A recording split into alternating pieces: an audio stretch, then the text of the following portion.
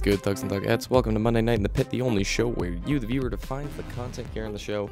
I ask you a topic, and then you leave a response in the comments, and I pick some of those responses and read them here on Monday Night in the Pit. I'm trying to get as many fresh faces in here as I can. Uh, last week, I asked you about the Majestic map pack.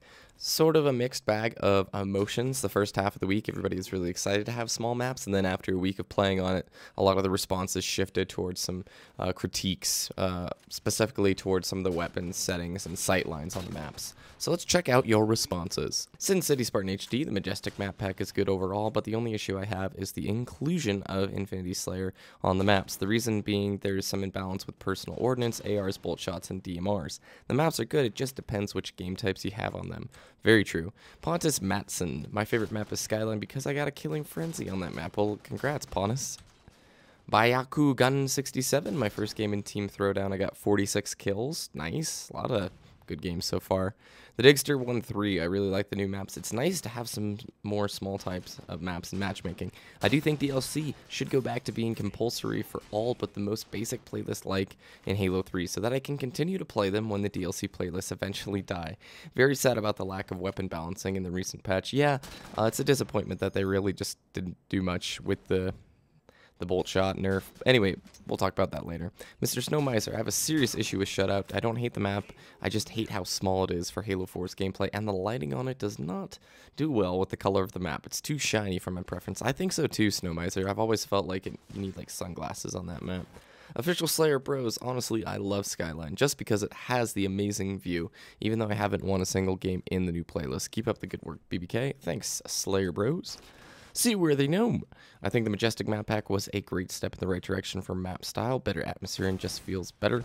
But I really hope this gives 343 a perspective on better maps in the future. By the way, need to game with you, man. It's been a while. It has been a while. Everybody, if you guys uh, don't know Arctic, you can go to my channel main page and check out on the playlist on the right. There's Halo CEA.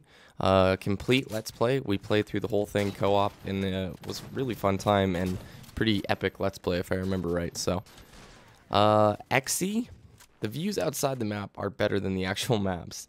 Uh, they they're really good. I've had a lot of fun on them. I feel like this is what Halo 4 needed as for now. Okay, well, cool, cool, good, good.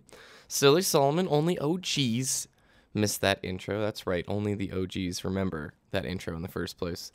And then Doomsday 88. I hope a lot of the extras are toned down in the map pack slash title update. An FPS is a lot like a woman's face. Halo 4 stripped down to its core is a beautiful game, and like a woman's face, a little bit of tastefully applied makeup can hide its flaws and highlight its attributes. But with armor abilities, tactical packages, support upgrades, personal loadouts, and a power weapon for every square foot of the map. The makeup is caked on so thick, it only serves to hide Halo's natural beauty. More isn't always more. Doomsday 88, if I had like a comment of the week award, you would win that. That is incredible. That sums it up the way, uh, I don't know, my opinions about the map. I've played the maps, excuse me. I've played a few matches. Um, it just seems like there's a lot of ordnance, like a lot of power weapons already on the map. And then you add infinity settings to it where people can get damage boosts and speed boosts. And it's like you're playing Fiesta Slayer, like always. but I do think it is nice to get small maps. I love the skyboxes, and they are really gorgeous maps. Before the video ends, here is my new schedule. Yes, I am going on a schedule. I'm going to try my best to stick to this. I hope uh, it works, but I think if it does work, this is going to be a really sweet new schedule. So on Mondays, it is Monday Night in the Pit.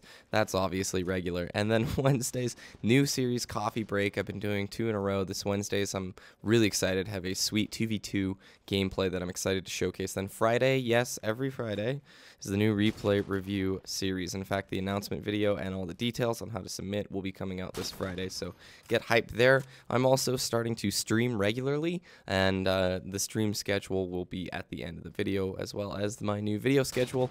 I'm going to try and stick to it. The way I'm doing my videos now is I'm just going to try and bust out all the videos in one sitting on a Sunday or a Saturday, and use the scheduled uploader and try and get them out that week. What do you want from the next title update? And I'm not talking like a little distance nerf to the bolt shot. I'd really like to hear some critical feedback as to what you want to see changed in matchmaking. Think if you were around in Halo Reach, if you guys remember the big Halo Reach title update that nerfed the bloom, think along the lines of that. If you could have one big title update to Halo 4, what would you like done to the in game settings? What do you think needs to be improved? That kind of thing. Don't get too over the top crazy and don't get too long in a, in a comment, but uh, just let me know if there's something that you'd like to see changed.